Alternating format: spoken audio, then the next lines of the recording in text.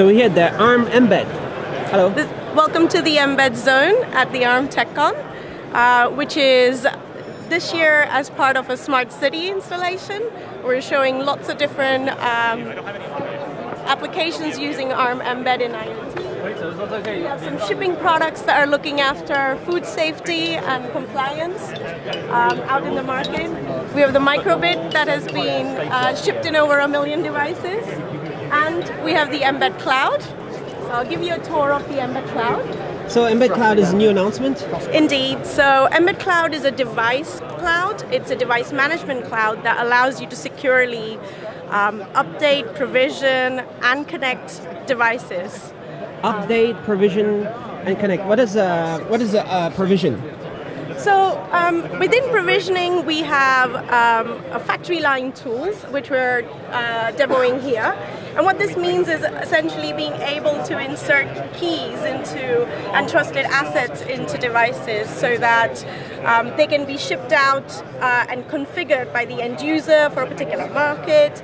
Um, it's also possible to actually attach uh, a particular um, inventory list to it so that um, you don't have any spare inventory. And this is really quite important to have security end to end, right from the silicon, especially at the time where the manufacture has taken place, so that security can be built in right from the start for IoT. Does it have to do with uh, giving IDs to every chip? Um, or, every device. So this is where um, you can actually protect certain assets within a device so that you can identify the device, you can make sure that it is um, functioning and, and the main thing that we're bringing in Mbed Cloud is the ability for any device to connect securely to any cloud. So multiple clouds can be uh, accessing the data and services within these devices. So uh, device connector and cloud, what's the difference? So device connector uh, is our um, free developer service. Um, what it does is the same thing as Mbed Cloud Connect. However, it allows you to get started with 100 devices. It uses a standard-based model so that you can connect to any different connectivity. This, they all have this? Um, so this is running Mbed OS with seven different types of connectivity and running that in Mbed Device Connector. So you can get started at by having any of your devices based on multiple different silicon. There's about 400 different components that are supported in Mbed OS. And you can take those, um, go into any sort of deployment so that you can take care of anything that needs LoRa connectivity or thread or cellular, for example, and be able to connect all of these very different types of connectivity in one very simple interface through Mbed Device Connector. So Mbed is um is to tie everything together in the in the IoT and the embedded market, right? And so, what's the status? What's been happening? Uh, in terms of? Uh, so it started uh, how long time ago? And uh, oh, okay, yeah. yeah. So um, about two years ago, um, at Mbed, uh, at uh, ARM TechCon, the Mbed team announced its vision to actually have a platform OS because um, connectivity in embedded intelligence changes design a lot in, in many non-trivial ways. And last year we had Mbed OS as our technical preview. Um, it has been going into uh, production devices so far, and we've seen some really good traction within those. Um, this year, we've actually extended that platform by bringing Mbed Cloud that allows you to really do any device, any cloud, securely managed. And that's really really what we see will get OEMs some uh, speed in terms of how IoT is being deployed. And all this is uh, free. So um, Mbed Cloud is a is a SaaS service. It's the first um, software as a service product from ARM, and um, interested parties can actually look at uh, our site and request a demo. All right, and uh, but Mbed OS is a free and open source. So Mbed OS is our device-side software, which is free and open source. Um, we also have Mbed Device Connector, which anyone can start using uh, for their designs and, and looking at for their deployments to connect it. And so you you talking about security and updates is a very important uh, way to prevent issues with IoT, right? It's a big challenge, and Mbed is uh, at the center of making this future possible? Absolutely. So, um, what Mbed OS brings particularly is isolation technology, so that within uh, all of the things within software can be protected, so that you don't have you can protect memory regions within the hardware and that's really important in IoT because of the, the kind of recent uh, events uh, if you consider the Mirai botnet there's a, a lot of devices that were essentially able to function um, but use their spare cycles to really exploit them and this is something where uh, MCU products in IoT would be better uh, suited to some applications. Of course, it depends on the use case. Um, but all in all, what we're trying to do is offer the architecture of security that goes from the very silicon to all the way how you deploy services through the lifetime of the product. So these products are going into field for about 20 years at a time, and we need to be able to ensure that they have all the implementations in the right way in software and hardware for security. How can you update a trillion devices uh, forever? Is that what you do? No, or not? it's not going to be a trillion yet, but uh, we're talking about millions, hundreds of millions, or right. So. Um, Mbed Cloud is um, available to only launch partners at the moment, but three partners are using it to scale their deployments in different verticals. Um, what we have here is the ability to actually do firmware update across their deployments. Um, but of course, these are not at, at billions of devices yet. Um, there are some real, real um, challenges in, in how OEMs have a very heterogeneous um, landscape to deploy these in. There could be, you know, old devices. There can be very new devices that they're deploying and designing now. So there's ability to actually connect across all of these different varieties of, of technologies and, and connectivity that's constantly evolving. So if we look around here, uh, you have a whole uh, street and uh, all these partners there. Does that mean, uh, is your vision that all this, all the IoT is gonna somehow be a platform that gets updated by who? Who's, who's taking care of updating all these devices? So Mbed Cloud is designed for OEMs to really uh, use with their IT cloud. So generally, um, you know, right now, um, if you consider the mobile world, firmware update actually takes place through the, the enterprise IT deplo- uh, department or, or, something like that. We think that there will be a um, capability within OEMs that will be doing developer operations, and, and that's the type of uh, folks we're trying to enable to use their uh, application cloud and bring security to their device cloud. So when a vulnerability is de- detected by some anybody, it's open. All the partners using Mbed have to stay open also, or uh, they can do whatever they want. Uh, no, it's uh, sorry. Like uh, if you use Mbed OS, right. you have to submit back all the changes you do, or you don't have to. Uh, no, so so we have an active partnership that contributes back to the code of MBedOS. Um, what's really interesting in, in IoT applications is if you have a vulnerability that you find in the uh, in any software that's been designed, the ability to update these devices allows you to actually, you know, um, send through bug fixes, for example, be able to actually also send through improvements in algorithms that might be doing some processing, for example. So all of that actually goes hand in hand, and, and we offer the choice essentially to partners. And there's a system for updating so it doesn't use too much bandwidth.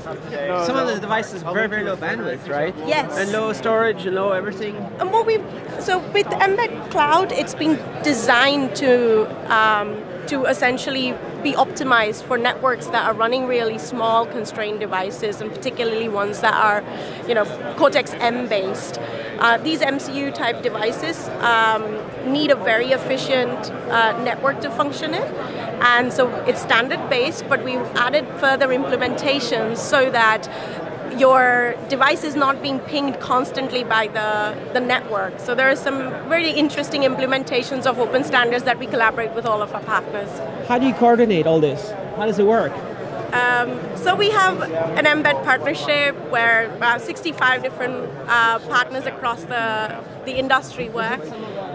and yeah, some of these are the partnership products. Uh, so we offer a, um, uh, a certification type um, uh, program that's called Mbed Enabled, and essentially any developer can choose any of the products that are listed on our website as Mbed Enabled, and our partners work with us to make sure that they're interoperable. All right, we look around here. There's more and more. We have uh, NXP. Uh, there's a lot. Yes. And uh, we have so Red Bear. We also have the BBC Microbit. Um, we have Silicon Labs, NXP, um, Embedded Artists. There's also, um, you know, kits like from IBM, for example, um, the Ethernet IoT starter kit. There's also the Hexiwear platform, so for anyone who wants to design wearables, it's a very flexible platform. Um, we've also got sort of a, a really small BLE-M0 type uh, module, so really interesting um, that now we're starting to see many integrated SoCs modules really come about through our Mbed Enable program, and that helps people get to market much quicker, um, they can get to production devices much quicker, and that's where we see right now the, the change in IoT. It's really moving from being just at the pilot and prototype stage to starting to really scale out. So it's an exciting time. What do all these uh, partners that you have, what do they say about uh, what you're doing? And uh, is there a lot of uh, feature requests or is everybody working in the, is everybody super happy? well, I mean, this is, this is part of where we, um, you know, part of our collaboration is constantly working with the partnership to understand where we're seeing the market uh, requirements, what needs to be fulfilled. Also, when we have shipping products, allows us to sort of actually um, look at some regulatory challenges, etc., that we need to you know, be aware of and bring into our roadmap to, to support the partnership. So that's an active dialogue. And it's, uh, it's very important. Uh, we, we're talking about a very rapidly growing market mm-hmm. and a lot of uh, different in the industry a lot of different platforms for IoT. Mm-hmm. Are they competing or are they getting inspired? Are they using your code there are other platforms, right? They just take what's good. They, they also use in other places. We are we are quite happy to have much wide adoption of our technology. So we have seen, uh, for example, we have um, Google Eddystone that uses the um, mbed um, technologies and, and, parts of the mbed stack. You know, we have uh, also a very flexible software client uh, that comes with the Mbed Cloud called the Mbed Cloud Client. And what that does is allows you to connect to any type of architecture or any type of other RTOS and OS. So it's important that some of the, the transport layer security, for example, that's found in Mbed TLS gets much wider adoption. We're very happy to see that get traction across lots of different you know, communities like Linaro and others and uh, so so all these devices uh, get updated and uh, you, you, are talking about a new the latest update since last year uh, you i guess optimized mbed is faster smaller yeah. stronger everything so um, we, we've been working on a number of different fronts for, on Mbed OS, and the latest release that we've announced at Arm TechCon, Mbed OS 5.2, um, also brings with it sort of um, much integrated um, connectivity um, and memory profiling, for example. Uh, so you, as a developer, have at your hands tools which allow you to see how you can optimize code and where you're writing, where where you can build sort of efficiencies into it. And, and that's really quite nice because you can actually move between different platforms to understand sort of how best you can get the performance out of a particular particular platform because it's very important that you don't build a bloatware platform. It has to be very small, right? Mm-hmm. Very fast. Yeah. Is that is not so easy, is it? But well, you have I lots mean, of people all, working on it. Um, all in all, we uh, the the design philosophy of Mbed is really to bring the security and efficiency advantage of the ARM architecture across the entire network and across that lifespan. So every place where you can make sure that there's a better um, chance for something to stay secure and be secure, um, and for something to be efficient, you can actually gain a huge multiplier effect in, in IoT, and that's what we set out to do. So um, we, you know, we and our partners um, work actively on them. That's actually a, a, real focus of our work. So the mbed uh, segment, the group in, in ARM is just growing, right? It's growing really fast. We're, you know, our, our team, uh, I've been with the Mbed team over a, a, year and I've sort of seen it go from uh, a team of 70 people to 250 people, engineers. So that's Whoa. that's fantastic. But Did also, you hire every single one? Are you the one in charge? no, we, we actually, um, we've been investing quite a lot in seeing what, where can we bring synergies and expertise and we made uh, acquisitions that have been quite um, quite significant expertise of security within our team. So um, we did an ARM did an acquisition of a company called uh, Sansa Security last year, and a large part of our security team is from uh, from brings that expertise from there. Um, we also, uh, of course, are not alone in this because our partnership has been growing and partners have been putting more of their engineering resources into this. So as we see collective success, that that means that we have more support and, and more engagement in that dialogue. And for the development boards, when they have competitions or if you see some cool hackers that do something good, I guess maybe you send them an email and say, hey, do you want to work with ARM Mbed? Yeah, absolutely. Do and, stuff like that. Uh, we'll always love to hear from uh, developers who are using Mbed for any of their projects, and yeah, they can write into our team. Uh, there's also a forum so that they can actually showcase what they're doing, and you know, watch out for uh, Mbed, uh, Mbed Connect, which is our developer summit. So our next summit is going to be in Shenzhen on the 5th of December, and I hope a lot of developers actually join us there. Wow, cool. So uh, Shenzhen is exciting place, right? I mean, it's uh, it's kind of like the real Silicon Valley, no? or not really? I mean, there's there's a lot happening in in Shenzhen, and and we see great opportunity in terms of where um, there's a lot of very good um, hardware skills, and um, people are looking at what they can do in terms of value-added software, and that that's ex- exactly the type of place we want to be in. We there's a lot of potential and, and talent there. Um, we'd love to actually you know see what they do and how they innovate with our tools. And if you can convince the Shenzhen guys to use Mbed, there wouldn't be any DDoS issues anymore, right? well, security really needs to be implemented correctly, and, and that's what you know a large part of the focus of, of Mbed Connect is going to be as well. Um, so we're bringing deep dive tracks uh, that walk people through all of the different types of hardware security, uh, as well as how to implement software security and do lifecycle security through the Mbed Cloud.